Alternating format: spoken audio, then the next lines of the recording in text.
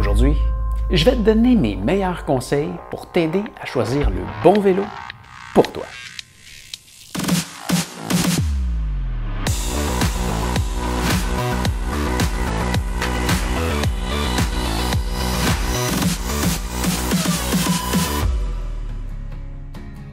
Salut, moi c'est Pascal et bienvenue à cette 22e capsule de formation pour t'aider lors de ta prochaine aventure.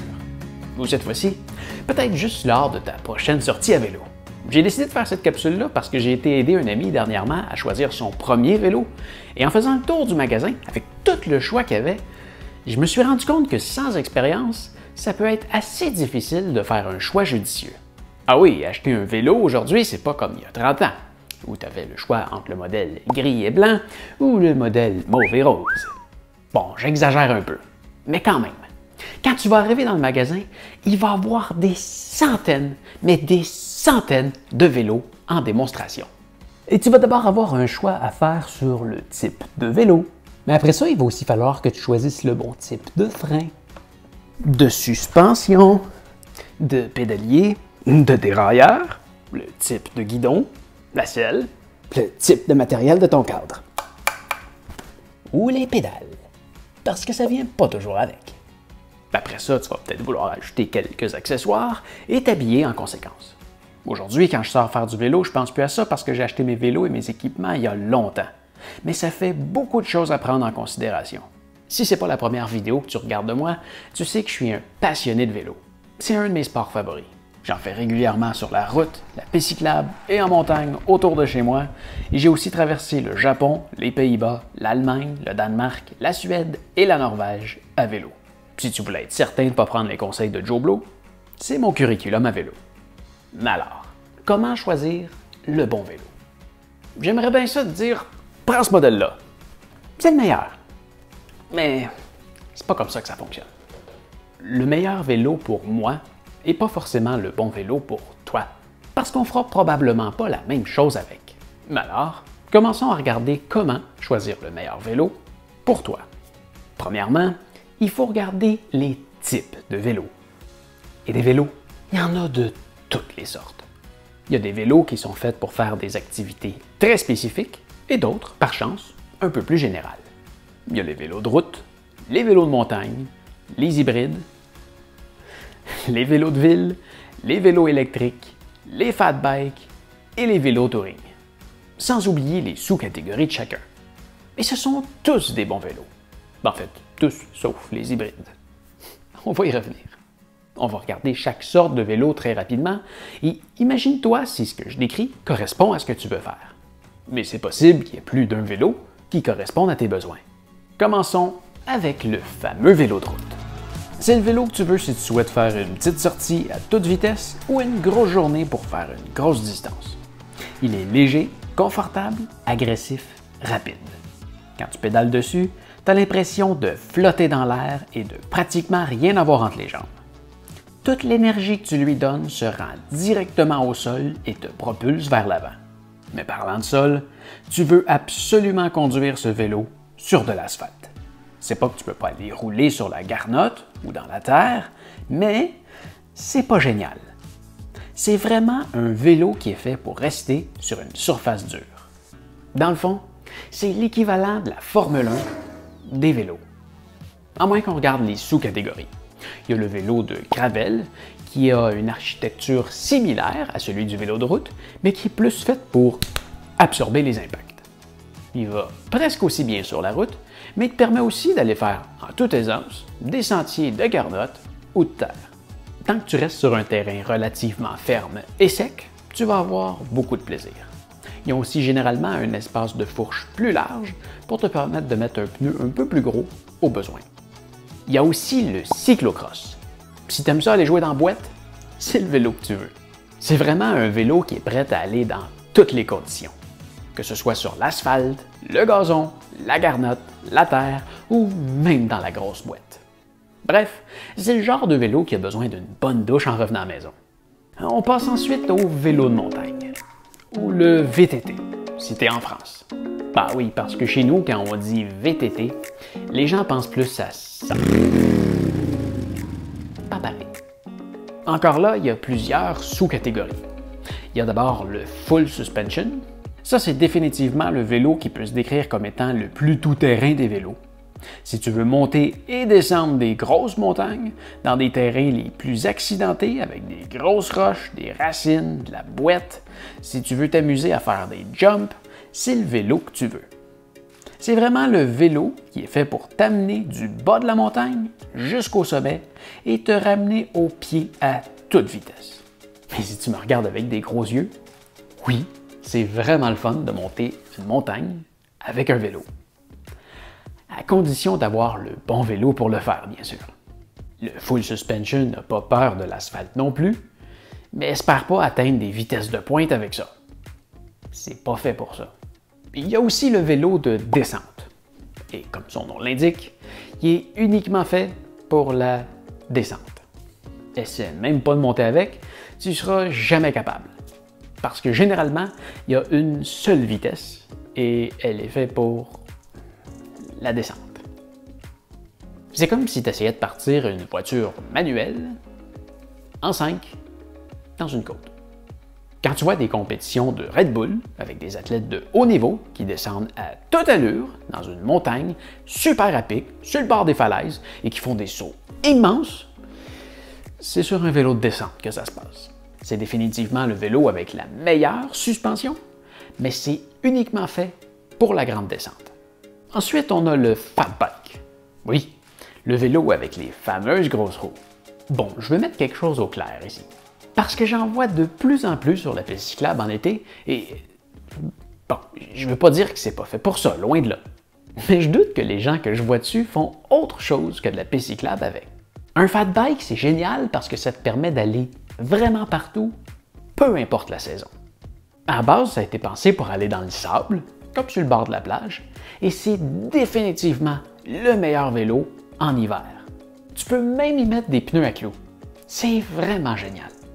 Alors, si tu veux un vélo qui va dans le sable, la neige, la route, les montagnes, c'est le vélo que tu veux. Mais prends pas ça si ton but c'est de faire uniquement de la route. Il y a les vélos de route pour ça et tu vas avoir beaucoup plus de plaisir. Et enfin, le dernier vélo dans la catégorie, et non le moindre, parce que c'est mon favori, le vélo cross-country. C'est peut-être pas le vélo que j'utilise le plus souvent dans l'année, mais si j'avais à garder un seul vélo, ce serait celui-là. Pourquoi?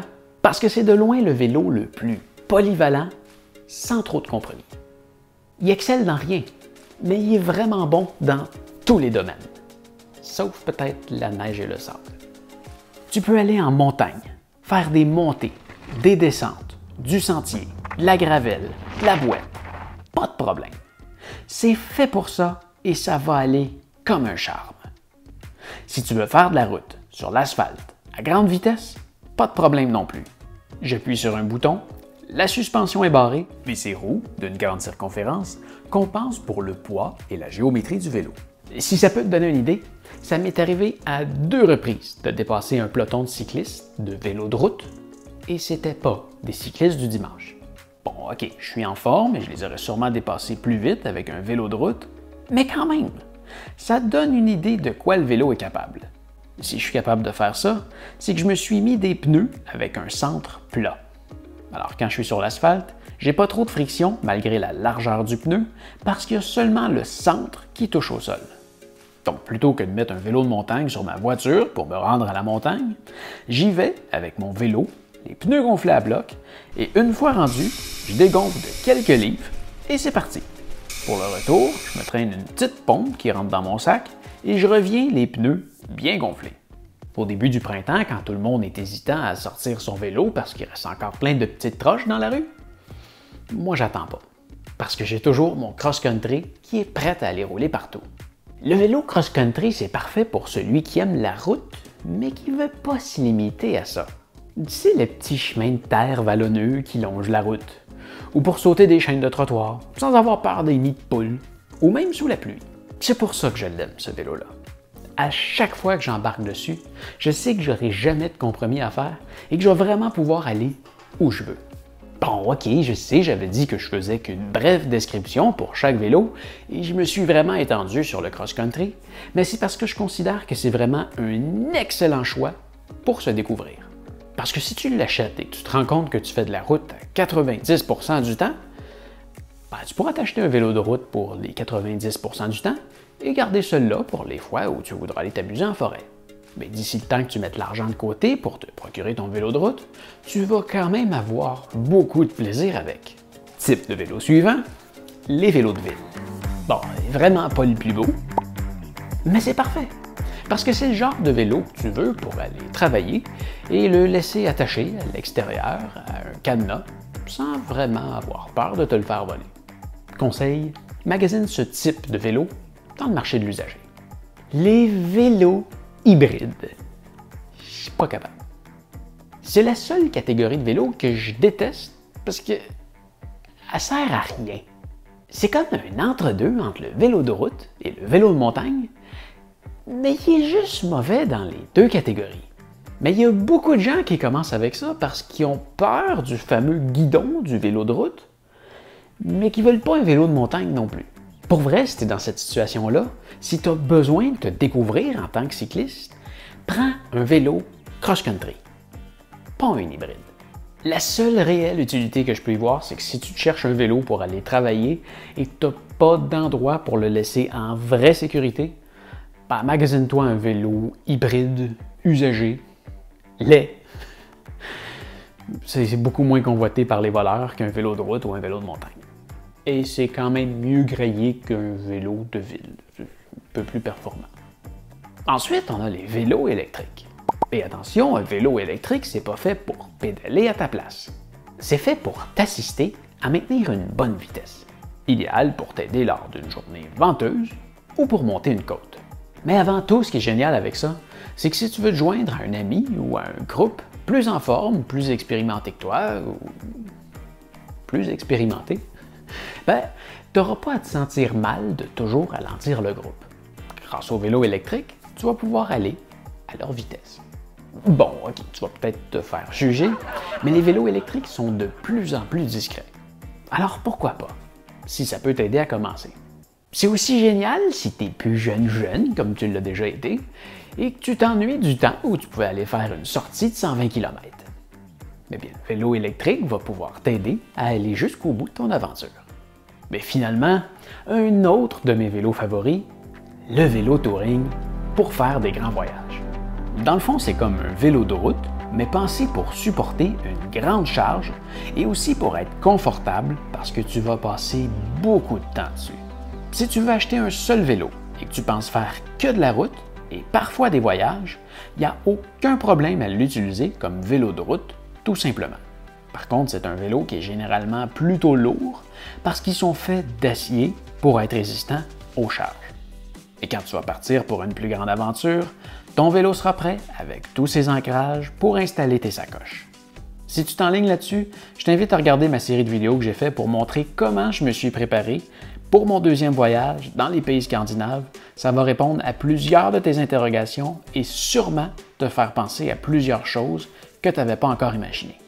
Mais bon, en résumé, tu peux faire plusieurs choses avec un vélo touring parce que c'est très résistant et confortable, mais si tu veux faire absolument un voyage à vélo, c'est le seul vélo que tu veux utiliser.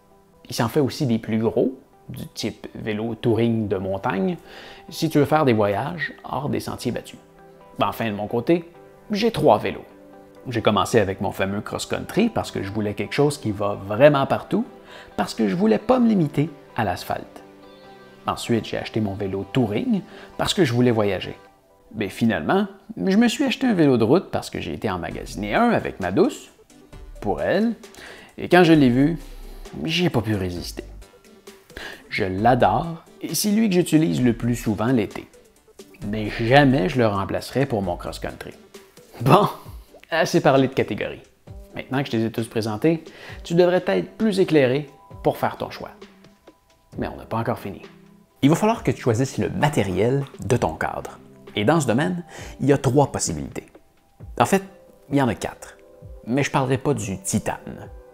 Parce qu'ils sont, du moins par chez nous, très peu disponibles. Donc les trois possibilités qui nous restent, c'est l'acier, l'aluminium et la fibre de carbone.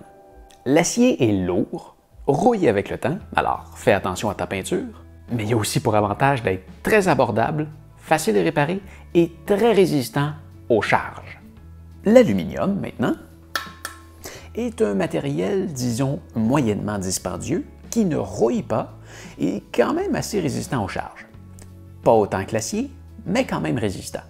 Mais c'est un matériel beaucoup plus léger que l'acier. Enfin, il y a la populaire fibre de carbone.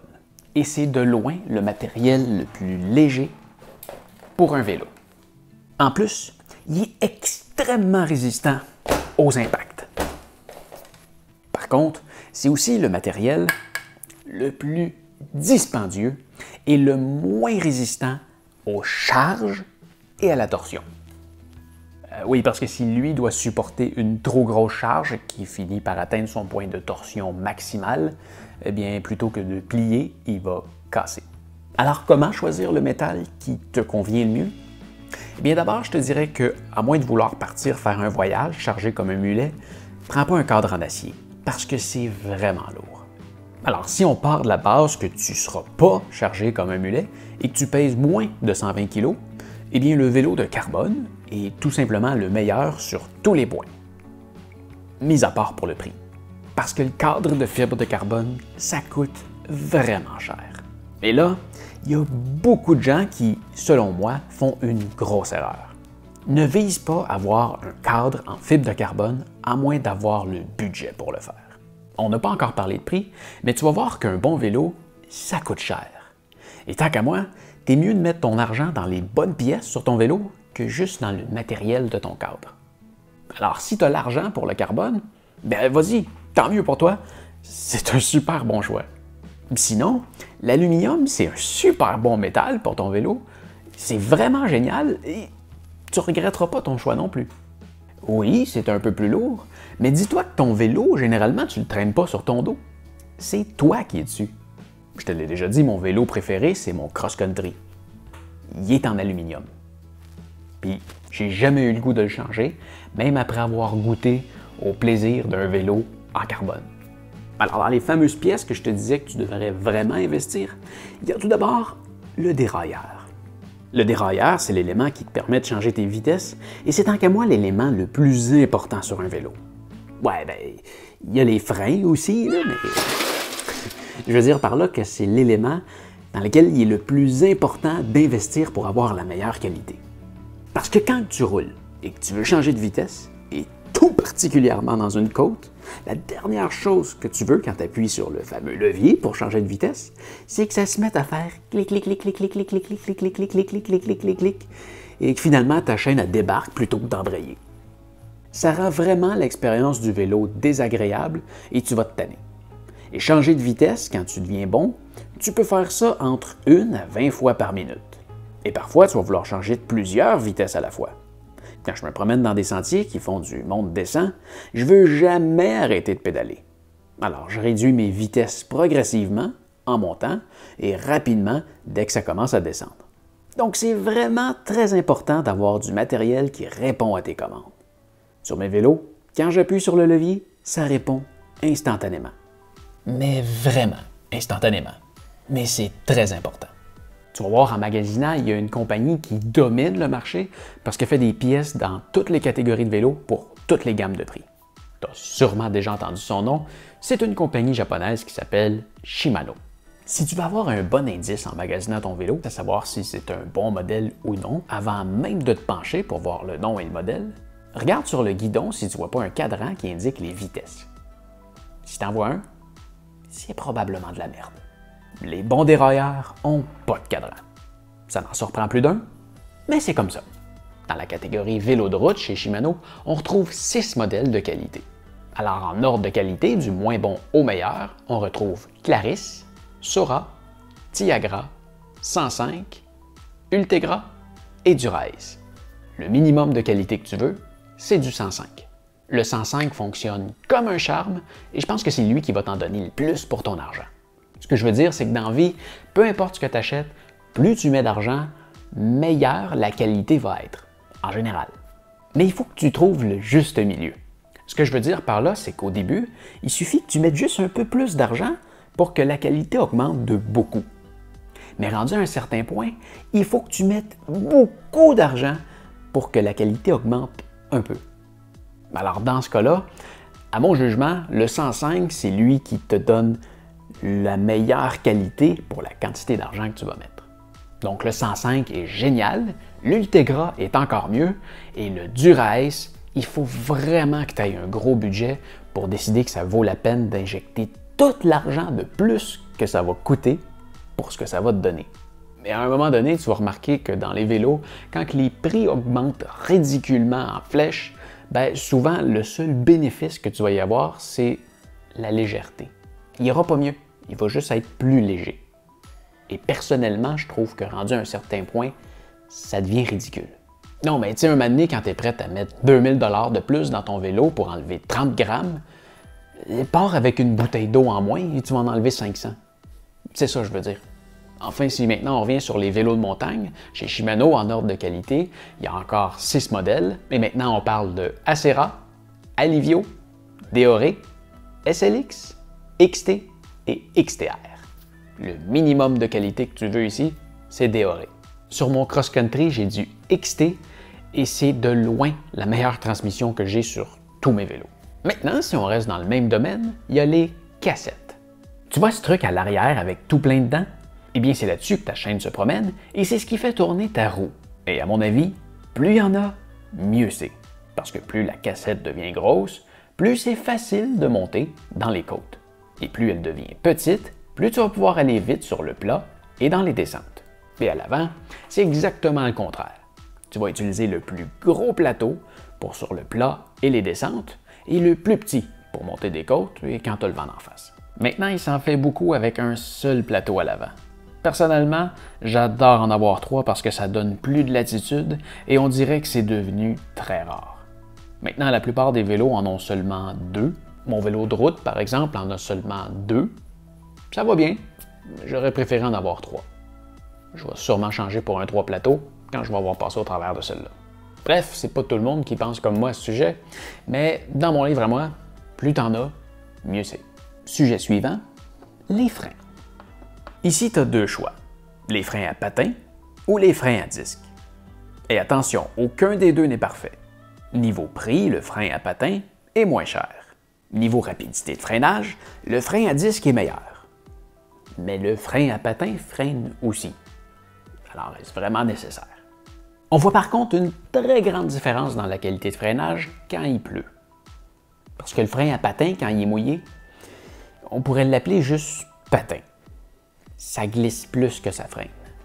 Avec un frein à disque mouillé, quand tu vas freiner, tu vas entendre un gros mais ça va freiner aussi bien que quand c'est sec. Le frein à patin a une durée de vie plus courte que le frein à disque. Et surtout s'il pleut et qu'il y a un petit peu de saleté qui vient se glisser sur ta roue et ton patin, ce qui est un endroit normal pour ramasser de la cochonnerie, tu vas rester surpris à quel point tu peux passer au travers en un rien de temps. J'ai déjà passé au travers de mon frein avant en une seule côte sous la pluie avec mon vélo touring. Par contre, les freins à disque sont beaucoup plus faciles à endommager. T'as beau faire attention, il va quand même finir par crochir, et un frein croche, ça freine un peu à chaque tour de roue. Ah oui, les freins à disque finissent toujours par devenir bruyants. Il n'y a rien à faire, à part un entretien régulier. Les freins à patins sont beaucoup plus faciles à ajuster et à réparer et à remplacer. Ah oui, dans les deux cas, que tu un frein à patin ou à disque, tu as le choix entre un système hydraulique ou à câble. Ça, c'est le mécanisme entre le levier et le fameux frein en question. Bref, c'est ce qui se trouve dans les gros câbles noirs LED juste ici. Le frein hydraulique est juste plus précis au niveau du freinage, mais il est plus compliqué à entretenir. Si tu veux le faire toi-même, tu vas avoir besoin d'un kit de seringue pour injecter de la nouvelle huile une fois de temps en temps. Mais quand je dis une fois de temps en temps, c'est vraiment euh, une fois de temps en temps. Tu feras pas ça chaque semaine, puis en moins de freiner vraiment beaucoup, ben, tu feras même pas ça chaque année. Donc bref, si c'est un vélo de route que tu veux et que tu prévois pas l'utiliser sous la pluie, je te recommande un frein à patin, à câble. Et si c'est un vélo de montagne que tu veux, ben là, je te recommande vraiment un frein à disque hydraulique. Parce que Quand tu descends une côte, tu veux juste ce qu'il y a de meilleur pour freiner. On arrive maintenant à la suspension. Et si c'est un vélo de route que tu veux, ça s'applique pas à toi. En fait, ce que je veux dire, c'est que tu veux pas de suspension sur ton vélo, à moins d'aller faire de la descente en montagne ou d'aller te promener sur des terrains très accidentés. Parce qu'avec une suspension, tu vas toujours perdre une certaine partie de l'énergie que tu mets sur tes pédales. Par exemple, si tu te mets debout pour pédaler en montant une côte, il y a une grosse partie de l'énergie que tu mets dans ta pédale qui va finir par se rendre dans ta suspension plutôt que de se rendre jusqu'au roue. Par contre, il y a quelque chose qui est génial. Il y a certaines suspensions qui se bloquent. Par exemple, avec mon cross-country, je clique sur un bouton et la suspension est barrée. Bon, pas complètement, mais disons à 95% Si je veux la remettre rapidement, un petit coup de poing et c'est réglé. Sur mon vélo, j'ai une seule suspension. Et par une seule suspension, je veux dire avant. Parce que dans mon cas, j'ai littéralement une seule suspension, si tu n'avais pas encore remarqué. Donc, tu peux aussi avoir une suspension à l'arrière, mais pour vrai, à moins d'aller faire de la grosse descente en montagne, ça donne à rien. J'ai beaucoup de plaisir avec ma simple suspension quand je vais faire des tours dans des sentiers en montagne. Et pour en revenir à ma fameuse suspension, ça s'appelle une Lefty c'est une exclusivité chez Cannondale. Donc ma roue avant est littéralement retenue que d'un seul côté. Soit comme moi, tu trouves que ça a l'air très cool, et ou vraiment bizarre. Je le remarque plus aujourd'hui, mais c'est vrai que quand on s'y penche, c'est euh, c'est assez bizarre. C'est sûr que quand tu regardes ça comme ça, tu te demandes qu'est-ce qui fait en sorte que ça brise pas, parce que ça tient effectivement par une seule vis et c'est soutenu d'un seul côté. Mais je peux te garantir que j'ai jamais eu aucun problème et j'ai roulé plus de 8000 km avec ce vélo. Ça rend le vélo un peu plus léger et ça travaille vraiment bien. Le guidon maintenant.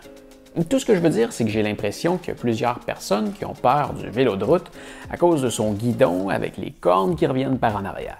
Pourtant, c'est le guidon le plus confortable. C'est pas parce qu'il y a des cornes par en bas que tu es obligé de pédaler tout le temps comme ça.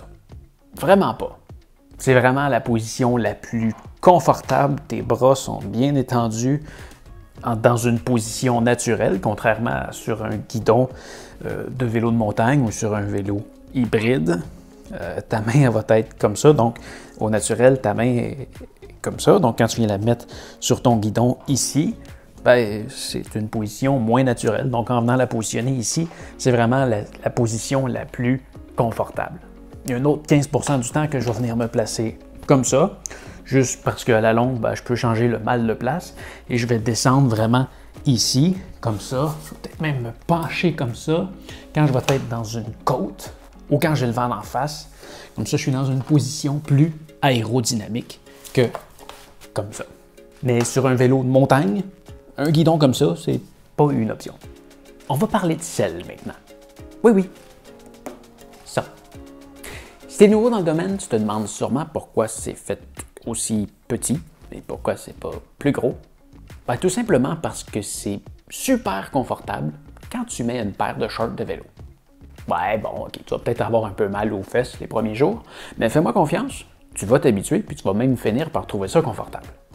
Et voilà, tu es déjà beaucoup plus avancé pour choisir le bon vélo pour toi. Mais maintenant, il faut parler de prix.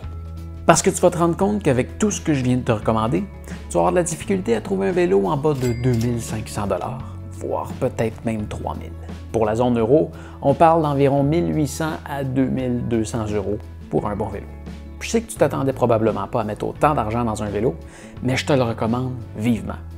De mon côté, c'est le montant minimum que j'ai investi dans chacun de mes vélos et c'est pour ça que je vais les garder très longtemps. Mon cross-country, je l'ai acheté en 2013 et j'ai jamais eu le goût de le changer. Pareil pour mon vélo touring que j'ai acheté en 2014 et lui, je l'ai acheté en 2018. Bon, il n'est pas encore très vieux, mais c'est certain que je vais le garder très longtemps parce que je suis entièrement satisfait de mon achat. Mais si tu te dis que tu veux un vélo juste pour voir si tu aimes ça, ben je te le dis tout de suite, t'aimeras pas ça si t'as pas un bon vélo. Maintenant, si c'est uniquement une question de budget, tu as trois options. Soit tu mets de l'argent de côté et t'attends d'en accumuler assez pour acheter un bon vélo. Sinon, tu peux aussi magasiner en début d'année. Généralement, les magasins liquident leur modèle de l'année passée. Et quand il est liquide, les pourcentages de rabais peuvent être vraiment intéressants. Sinon, il y a aussi l'option des vélos usagés. Et pour vrai, t'es vraiment mieux avec un bon vélo usagé qu'un mauvais vélo neuf. Par exemple, je ne sais pas combien je pourrais le revendre lui aujourd'hui, sûrement au maximum la moitié du prix que je l'ai payé, mais il va toujours aussi bien que le jour que je l'ai acheté. Et un vélo, ça s'entretient. Alors s'il y a un problème, ça se répare. Tant que le cadre est en bon état, le reste, ça se répare. Mais si tu te dis toujours que tu pourras jamais mettre ce montant-là dans un vélo, j'ai fait une très belle capsule pour toi. Le titre de la vidéo, c'est Je ne suis pas assez riche pour me permettre des objets bon marché. Dans la vidéo, j'explique que j'ai vraiment pas un gros cash flow et c'est exactement pour ça que j'achète des objets dispendieux. Je peux sûrement te donner des trucs pour y arriver toi aussi. Si tu veux la voir, la vidéo est juste là. Ah oui, j'ai oublié un détail très important. Le look. Si tu trouves le vélo laid, pour vrai, prends-le pas. Parce qu'en final, un bon vélo doit faire en sorte que quand tu le vois, que tu aies juste le goût de sauter dessus et d'aller faire un tour. Il faut que tu sois fier de ton vélo. Si tu le trouves laid, tu n'auras sûrement pas le goût de l'utiliser. Mais on n'a pas fini encore.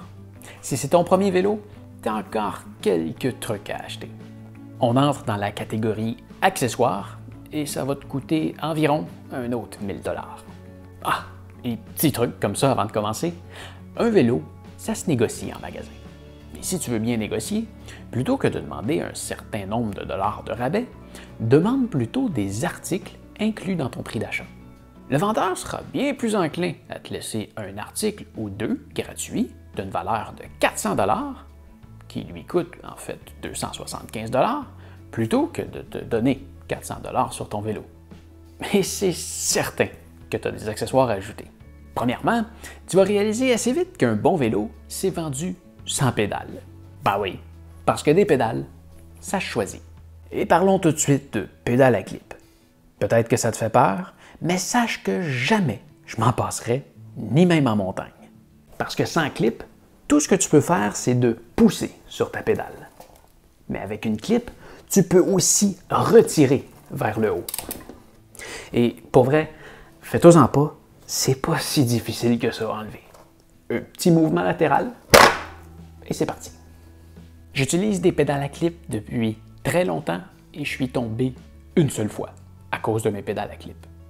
Pour vrai, quand tu viens pour tomber, ton pied, en tout cas dans mon cas, fait le mouvement naturel pour s'enlever, donc un mouvement latéral. Donc si tu es sur le point de tomber, ton, ton, pied va avoir le réflexe de faire le bon mouvement pour s'en aller par terre. Et si tu tombes, ben, probablement que tu vas rouler à très basse vitesse.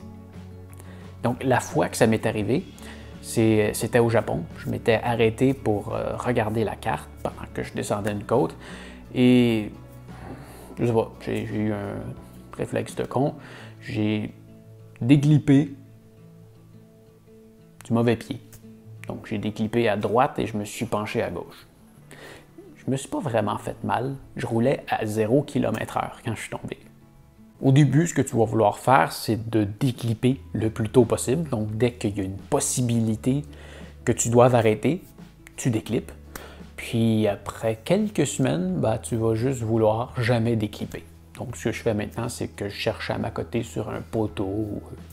Je déclippe. Euh, ça arrive souvent que je sors faire des dizaines de kilomètres et je déclippe jamais je ralentis. Je, sais que je vais déclipper assez vite, je vais avoir le bon réflexe. Donc, soit je ralentis, soit je m'accote sur un poteau. Tu vas voir, ça devient, ça devient naturel. en tout cas, pour la plupart des gens. Il y en a qui aiment vraiment pas ça. C'est correct, tu n'es pas obligé d'en avoir. Mais je te le dis, ça va vraiment mieux, je m'en passerai jamais. Mes favorites sont les Shimano XT ou les XTR de montagne parce qu'elles sont toutes petites et fonctionnent super bien, autant sur la route qu'en montagne, et elles n'ont pas de sens. Ça veut dire que tu peux les clipper des deux côtés. Mais si tu hésites encore, ben, il y a les pédales avec option de clip. Ça, ça veut dire que la pédale est faite quand même grosse pour que tu puisses l'utiliser sans clip.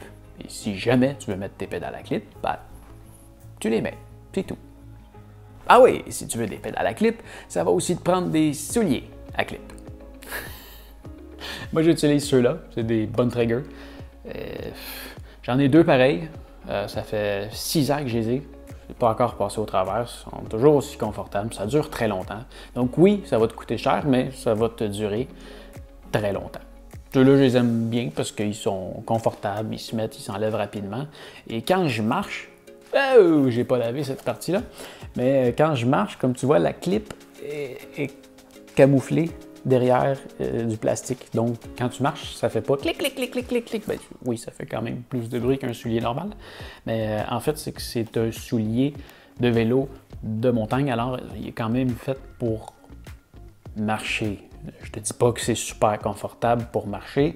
Euh, si j'ai le choix d'aller prendre une marche avec des souliers ou des souliers de vélo, je vais prendre des souliers de marche.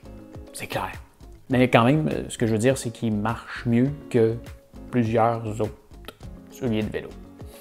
Mais bon, les pédales à clip et les souliers à clip, c'est un sujet pour une capsule complète, alors j'en ferai une plus tard et je la mettrai en lien ici euh, quand elle sera disponible. Tu vas aussi avoir besoin de porte-bouteilles. Peut-être. J'en ai seulement mis sur mon vélo de route. Avec mon cross-country, souvent je vais partir avec un petit sac à dos. Et personnellement, en bas de 50 km, je bois de l'eau avant de partir et ça me suffit. Mais si tu veux des porte-bouteilles, tu vas sûrement aussi vouloir des bouteilles pour mettre dedans. Tu vas peut-être vouloir aussi un odomètre. C'est assez pratique pour savoir à quelle vitesse tu roules. Moi, de mon côté, j'utilise ma montre Sunto, donc c'est mon odomètre, GPS et, et tout euh, que j'utilise dans tous mes sports. Si tu veux en savoir plus sur la montre, tu peux aller voir la capsule juste ici. J'explique tout ce que ça fait et comment ça fonctionne. Euh, tu peux aussi te mettre une braquette pour mettre ton téléphone avec l'application Strava sur ton cellulaire. Ça va aussi te donner la vitesse, un suivi de, ton trajet. Tu vas pouvoir suivre des routes, tu vas pouvoir l'utiliser comme GPS, comme carte ou comme tout ce que tu veux. C'est vraiment bien fait, Strava. Ou tu peux même carrément te mettre un GPS à vélo. Il y en a des excellents. Je vais te laisser des liens dans la description si jamais ça t'intéresse vers tous les articles que je vais avoir parlé et ceux que je te recommande. Je vais même te mettre un lien vers mon site web où c'est que je vais monter une belle page où c'est que tu vas tout pouvoir trouver ce qui est pertinent à mettre sur un vélo et tous les articles que j'ai parlé. Avec des photos et tout, ça va être super bien fait. Tu vas peut-être aussi vouloir un pied pour ton vélo. Mais tu n'en achèteras pas. Parce que je te le déconseille. De un, si tu as un vélo en carbone, c'est soit impossible ou déconseillé parce que la pression que tu dois mettre pour le faire tenir, c'est dangereux de briser ton cadre. Si tu un vélo en aluminium, ben. C'est juste laid. Ton vélo, tu le déposes par terre ou tu l'accotes sur un mur. C'est tout. À moins que tu aies un vélo touring, là, c'est vrai qu'avec tout le poids des bagages, ça peut être intéressant d'avoir un bon pied pour pas avoir à relever toutes tes affaires à chaque fois ou d'écraser ce qu'il y a dans tes, dans tes bagages. Tes lumières. Ah! Ah! sont fortueux. Bon, à la base, un bon vélo, ça contrevient généralement aux règles de plusieurs municipalités parce que c'est vendu sans réflecteur. Alors, si tu veux pas te faire achaler par la police, et peut-être même sauver ta vie, installe-toi une lumière à l'avant et à l'arrière. Si tu te fais prendre par la noirceur, ou si comme moi tu aimes ça, sortir le soir, faire un tour de vélo, c'est vraiment très pratique. Et pour la lumière arrière, si tu vas sur le bord de la route, cette lumière-là flash assez fort pour être très visible de jour et éblouissante de nuit. Aucun conducteur de voiture pourra dire qu'il t'a pas vu. Ça flash vraiment, vraiment fort. Et le plus beau, les deux ont une batterie rechargeable. Un casque. Si tu veux savoir ce que j'en pense, va voir la vidéo en haut à droite. Ah oui. Ben, pas tout de suite. Attends. Attends. Puis à la fin de la vidéo, tu vas pouvoir aller dans le coin en haut à droite, puis tu vas pouvoir voir toutes les vidéos que je t'ai suggérées. Des gants. Ah oui, tu veux des gants de vélo. Si tu ne me crois pas, mets-en pas, tu vas comprendre assez vite. Moi, j'ai cette paire-là qui est faite pour la montagne ou pour les journées les moins chaudes, disons. Non, les journées froides. Et j'ai cette paire-là qui est pour mon vélo de route et les bonnes journées d'été, avec les bouts de doigts à l'air qui me permettent de garder toute ma dextérité. Un klaxon. Non, ça. Tu mets pas de klaxon sur ton vélo. grande majorité des gens ont un truc dans la gorge, ici, qui s'appelle des cordes vocales. Et ça te permet de faire des trucs du genre Hey! Oh! Wow! Attention! Et c'est généralement très efficace. Et si ça marche pas, il y a un truc sur le bord de la route qui s'appelle le fossé. T'es envoies C'est une blague. Le fossé, je parle. T'envoies pas les gens dans le fossé, non. Fais pas ça. C'est une blague. L'inutilité du klaxon, par contre, ça, j'étais sérieux. Peut-être que tu vas vouloir un cadenas aussi. Et si tu viens de mettre 3000 dollars sur un vélo, euh, je te dirais qu'il n'est jamais assez en sécurité pour un cadenas. Rentre-le en dedans. Ah oui, je veux revenir sur la selle. Généralement, oui, ça vient avec le vélo, mais si tu prévois faire des journées de plusieurs heures, ça vaut peut-être la peine de faire un petit investissement de plus pour avoir de quoi de plus confortable. Enfin, petit, il y en a tous les prix. Disons que jusqu'à 250 dollars, tu paies bon, du confort supplémentaire et au-delà de ça, ben là, tu paies vraiment pour de la légèreté. Ah oui, détrompe-toi, un siège bien rembourré, c'est souvent moins confortable. Ah oui, c'est sûr que les premières minutes que tu vas être assis dessus, tu vas sûrement le trouver plus confortable. C'est à la longue. Quand ça va faire des heures que tu vas être assis dessus, tout le fond va se déformer et là, il va devenir vraiment inconfortable. Tu vas avoir des engourdissements aux fesses et d'autres régions. Un vélo, c'est pas comme un sofa. Tu n'as pas de place pour te déplacer une fois que tu l'as déformé. Combien de fois tu as bougé de ton sofa ou de ta chaise depuis le début de la vidéo? Tu l'as peut-être pas remarqué, mais je suis sûr que tu serais surpris. Alors, prends un petit siège avec un petit rembourrage bien ferme, comme celui-là, et je te le dis, après quelques sorties, tu vas trouver ça super confortable. Tu vas aussi vouloir une pompe à pneus. Oui, parce que sur un vélo de route, les pneus, ça se gonfle une à deux fois par semaine. Sur un vélo de montagne, avec les plus grosses roues, une à deux fois par mois. À moins que tu mieux aller faire un tour au dépanneur à chaque fois, mais pas vrai. Moi, j'ai cette grosse-là pour la maison et j'en ai une plus petite que je peux traîner avec moi sur la route. Un rétroviseur. Non, ça, pour, pour moi, ça rentre dans la même catégorie que les klaxons. C'est complètement inutile. Encore là, j'ai un truc entre ma tête et mes épaules, et regarde bien ce que ça me permet de faire.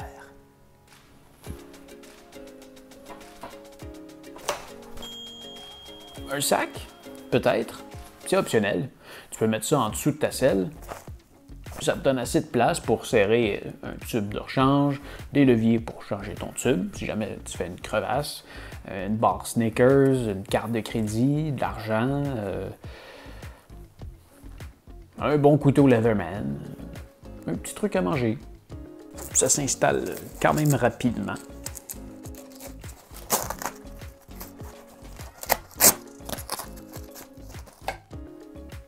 Mais bon, je l'utilise pas vraiment souvent. Généralement, je vais faire plus des tours euh, autour de chez moi et si jamais j'ai un problème, ben. Maman, j'ai un problème. Tu peux-tu venir me chercher, s'il vous plaît? Ouais, je suis juste à 50 km à peu près.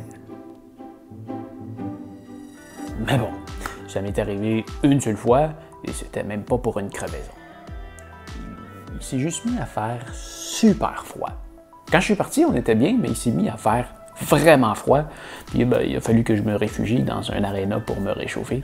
Il n'était pas question que je revienne euh, en t-shirt à une température très très froide. Mais pour vrai, pour ce qui est des crevaisons, dans les 16 000 km que j'ai fait dans les dernières années, j'ai eu une seule crevaison. Et c'était à cause d'un crétin qui avait cru bon de lancer sa canette de bière par terre plutôt que de la recycler. Mais par chance, cette fois-là, j'avais tout ce qu'il fallait sur moi pour changer ma crevaison. Mais bref, tout ça pour dire que quand tu pars à vélo, soit tu apportes ce que tu as besoin pour réparer ton vélo, soit tu apportes ton téléphone pour appeler de l'aide. Ou les deux. Dernière catégorie d'équipement maintenant, les vêtements. Tu veux absolument une paire de shorts de vélo. Je l'ai déjà dit plusieurs fois, mais les selles de vélo sont absolument faites pour être montées avec une paire de shorts de vélo. Personnellement, je ne jure que par ce modèle de Louis Garneau. Et la compagnie va pas très bien ces temps-ci, alors j'espère qu'ils vont pouvoir continuer à survivre pour faire ce merveilleux produit. C'est environ 150 dollars la paire. J'en ai trois, mais ça fait six ans que j'utilise les mêmes. Et mis à part une certaine décoloration sur ceux que j'ai pris pour aller faire le Japon en vélo, donc pas celle-là, ils sont toujours aussi confortables, alors ils valent vraiment leur prix. Alors tu veux un bon coussin à l'intérieur pour absorber ton siège. Et euh, généralement aussi, c'est bien d'avoir un certain euh, espace ici, élastique, pour que ça soit confortable et que ça ne se mette pas à retrousser sur ta jambe. Non, c'est vraiment un... Il n'y a pas de nom de modèle dessus. Et c'est fabriqué au Canada en plus. Le modèle RN 78126, mais je suis pas sûr que suis pas sûr que c'est le modèle. Mais oui, euh, très confortable. Ah oui, si t'aimes pas le look que ça donne, il n'y a absolument rien qui t'empêche de mettre une paire de shorts par-dessus. Ah oui, pour ton info, sache que c'est fait pour être porté sans sous-vêtements. Mais il n'y a aucune loi qui stipule que c'est illégal de mettre des sous-vêtements en dessous de ses shorts de vélo. Alors ça fait des années que je roule avec des sous-vêtements en dessous de mes shorts de vélo. Ah oui, et maintenant pour ce qui est du maillot de vedette. J'ai jamais compris c'était quoi l'intérêt de payer entre 100 et 200 dollars pour avoir un bout de tissu qui fait de la publicité à 43 compagnies. En plus que quand tu quittes ton vélo pour marcher, on voit ton nombril. J'en ai acheté un quand j'ai fait le Japon à vélo, mais je dois dire que c'était loin d'être mon favori. Mais le mien faisait pas de publicité à personne. Le seul réel avantage à ce type de chandail, c'est qu'il y a des grosses poches dans le bas du dos pour te permettre de traîner ce que tu as à traîner. Mais c'est tout. Dans mon cas, je voyage avec des simples t-shirts ou des chandails à manches longues légers pour me protéger du soleil. Toujours des tissus à séchage rapide. Mais non, pas de maillot. J'aime pas le look, ni le confort, ni le prix. Je pensais pas que j'allais en avoir autant à dire sur le sujet. Ça a fait vraiment une grosse capsule. Je sais pas si j'ai fait le tour du sujet. Je pense que oui. Si jamais tu as des questions ou des idées à en ajouter, n'hésite pas à m'écrire en bas dans les commentaires, ça va me faire plaisir de te répondre et ça va peut-être même me donner des idées pour faire une partie 2 à la vidéo. Et si c'est le cas, je vais la mettre en lien juste ici. Enfin, si je peux faire un résumé, réfléchis à ce que tu veux faire avec ton vélo avant de l'acheter pour choisir le bon type. Et si tu hésites entre la route et la montagne, les sentiers, pitié, prends un cross-country plutôt qu'un hybride. Investis au minimum 2500 dollars avant taxe ou 2000 euros pour avoir un vélo de qualité avec lequel tu vas avoir du plaisir. Et si c'est pas dans ton budget, magasine un bon vélo usagé, c'est beaucoup mieux qu'un mauvais vélo neuf. Et oublie pas qu'après ça, il te reste des accessoires à acheter. Et surtout, trouve un beau vélo qui va te donner le goût d'aller faire un tour. Ah, et quand même, au final, le cycliste joue un bien plus grand rôle que le vélo. Alors voilà, j'espère que tu as aimé la vidéo. Si c'est le cas, s'il te plaît, donne-moi un pouce en l'air. Abonne-toi à la chaîne si ce n'est pas déjà fait. Tu peux aussi t'abonner à l'infolettre, le lien est dans la description si tu veux absolument rien manquer. Écris-moi dans les commentaires, ça me fait toujours plaisir. Et cherche pas à m'écrire ailleurs, les commentaires, c'est le meilleur endroit. Je les lis à tous les matins et je vais continuer à répondre à tout le monde tant que je vais pouvoir le faire. Je vais conclure avec un dicton. À vélo, ça devient jamais plus facile. Ça va juste de plus en plus vite. Sur ces sages paroles, fais attention à toi et on se revoit très bientôt.